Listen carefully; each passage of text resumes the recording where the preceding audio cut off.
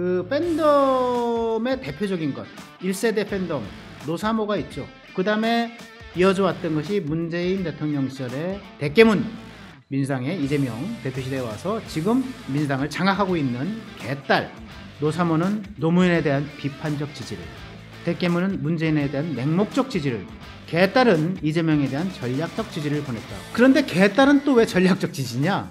지지난해 2년 전에 대선 때 이제 윤석열 후보한테 이재명 후보가 지잖아요. 문재인 정권이 여러 가지 실적으로 말미암아 가지고 이제 표를 까먹죠. 이거 뭐야? 맹목적 지지 뭐 무조건 지지해도 안 돼? 아 안 되겠어. 우리는 말이야 어, 제대로 우리 생각대로 저 이행하는 그 사람을 지지하겠어. 만약에 우리의 뜻대로 하지 않아? 우리는 그럼 그 사람 포기해. 이게 전략적 지지인 겁니다. 권력 쟁취에 수단화하려는 팬덤의 존재는 이재명에게 약일까 북일까? 정말 궁금합니다. 아, 같이 지켜보시죠.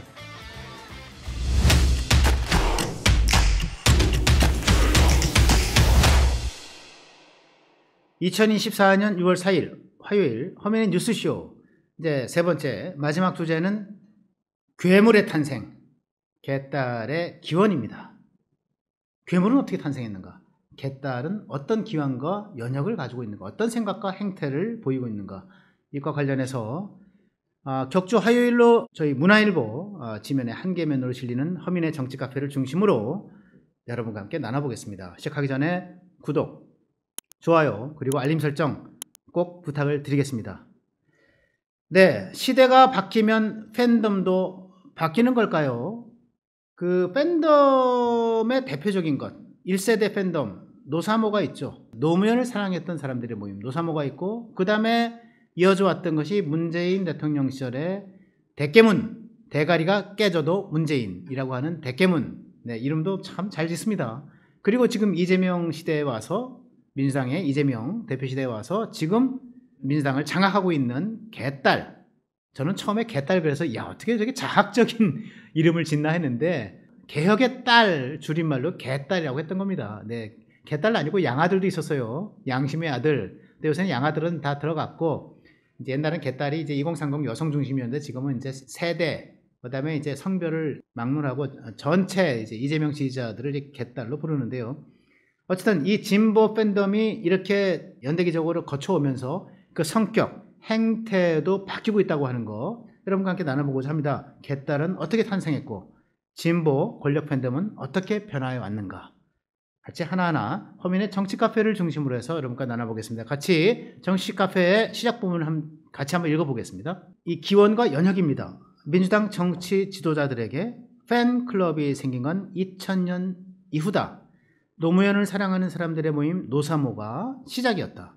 이후 대가리가 깨져도 문재인을 뜻하는 대깨문 그리고 이재명을 지지하는 개혁의 딸, 즉 개딸이 차례로 생겨났다.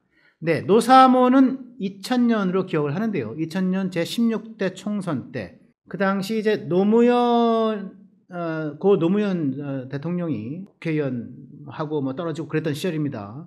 노무현이 그 사실은 이제 본거지는 이제 사실상은 이제 서울 종로인데 종로를 포기하고 부산으로 내려, 갑니다 근데 김대중의 민주당, DJ의 민주당에서 영남이라고 하는 건 사실 사지죠. 호남 아니면 수도권이었는데 일부러 부산 내려갑니다. 그래서 떠, 떨어지죠 거기서. 바보 노무현 소리를 듣습니다. 그러나 지역 감정 타파, 지역주의 타파를 내고 가서 떨어진 겁니다. 그래서 이 바보 노무현을 우리가 좀 지지하자, 성원해주자, 좀 우리가 좀 살려보자. 어? 제대로 된 정치를 할 수 있게 좀 도와주자 해서 만드는 게 바로 노무현을 사랑한 모임 노사모였습니다. 그래서 결국은 2002년에 대선 후보가 되고 민주당의 대선 후보가 되고 그해 12월 달에 결국은 아, 정몽준과의 단일화를 통해서 대통령이 됩니다.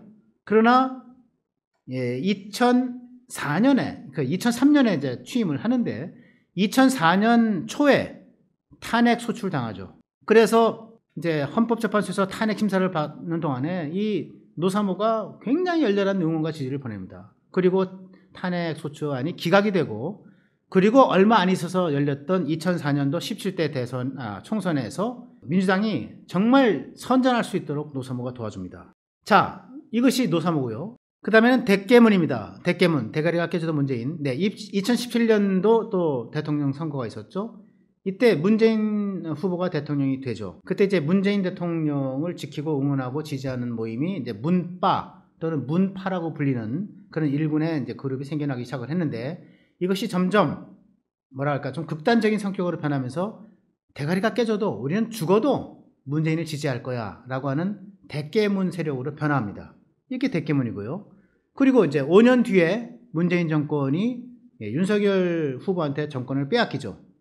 예, 즉 이재명 아, 후보가 윤석열 후보한테 패하죠. 0.73% 포인트로 패한 거 기억하실 겁니다. 그게 이제 2022년 20대 대선인데 요 패한 사건을 계기로 해서 야 이재명이 그래도 열심히 살아왔잖아. 성남 시절부터 경기도사를 거쳐가지고 지금 그 황야에서 만약 황야의 일필랑 어? 한 마리 외로운 늑대처럼 우렁거리면서 어?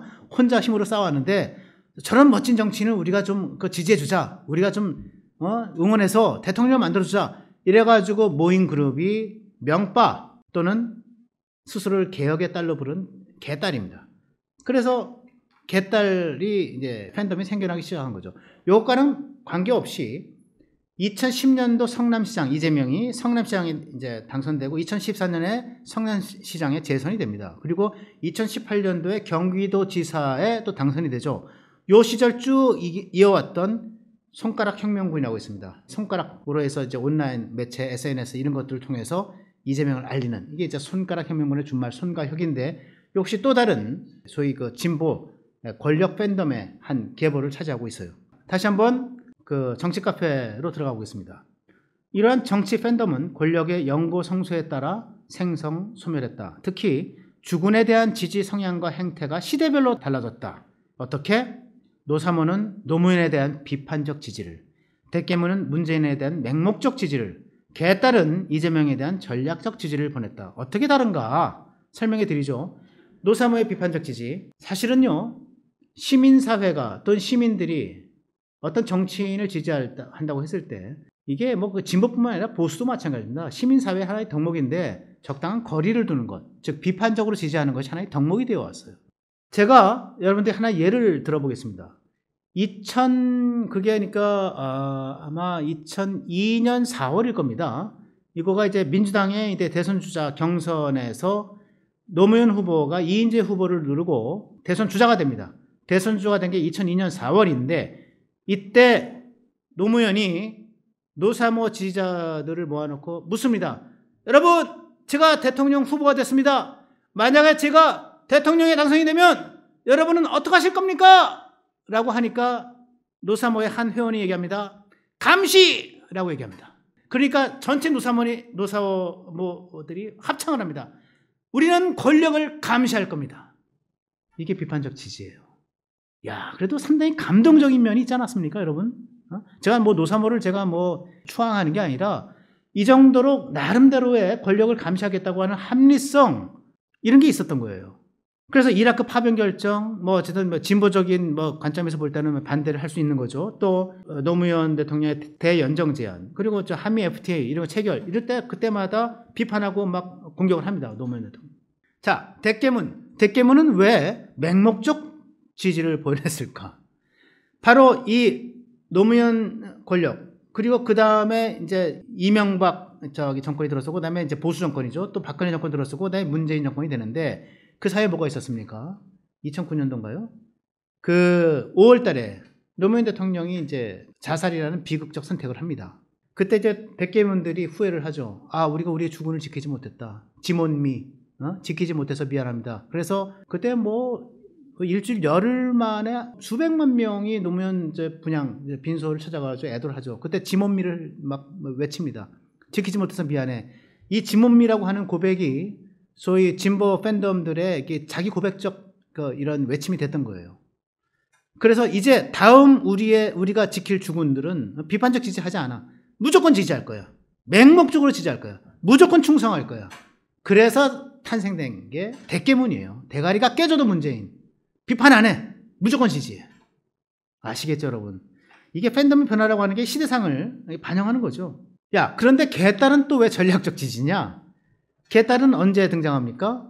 2022년, 지, 지지난해 2년 전에 대선 때 이제 윤석열 후보한테 이재명 후보가 지잖아요. 문재인 정권이 여러 가지 실적으로 말미암아 가지고 이제 표를 까먹죠. 표를 다 날려요. 이재명 후보에 대한 비호감도 많이 작용했겠지만, 그러니까 장기 집권 플랜, 20년 집권론, 50년 집권론 세웠었는데 한순간에 날아갔잖아요. 그러니까 이거 뭐야? 이거 대체 뭐 이게 맹목적 지, 어, 지지, 뭐 무조건 지지해도 안 돼? 아, 안 되겠어. 우리는 말이야. 이게 될 사람을 우리의 생각대로 어, 제대로 우리 생각대로 저 이행하는 정치인을 주군으로 모시고 그 사람을 지지하겠어. 만약에 우리의 뜻대로 하지 않아? 우리는 그러면 그 사람 포기해. 이게 전략적 지지인 겁니다. 무조건 충성하지 않는다. 예, 이거는 소위 비판적 지지와도 다르고, 그 다음에 이 맹목적 지지와도 다른 또 다른 흐름인 거죠. 뭐 정반 합이 있다면 태제, 안티태제, 진태제가 있다면 일종의 그 종합명제가 돼버린 거죠. 자, 정치 카페 같이 읽어보시겠습니다. 개딸의 세계는 군중을 지배하는 교주, 그를 애워싼 무당들, 이성을 헌납한 맹신도의 역할 분담이 일사불란하게 작동하는 현장이다. 이들의 성향은 사교적 권력과 파벌적 오만으로 요약된다. 한국 정치에 존재했던 과거 그 어느 팬덤과도 비교할 수 없을 정도로 배타적이고 공격적이며 광적이다. 네, 이렇게 제가 썼습니다.